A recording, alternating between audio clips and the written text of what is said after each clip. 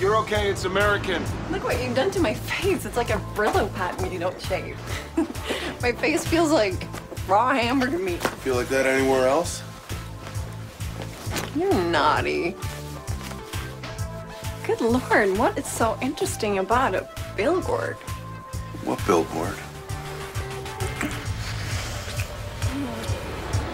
Oh, I guarantee you that's my plane. Um, I'll see you in two weeks.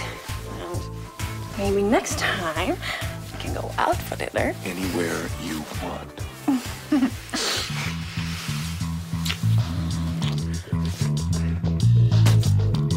Thanks for flying Tawny.